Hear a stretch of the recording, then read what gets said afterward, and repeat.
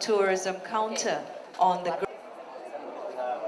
Tapi eh, ada media cetak menyatakan eh, turis itu menurun di ke Bali eh, untuk datang ke Bali atau di Indonesia sendiri karena, Karena ada apa? security. Ya, ah.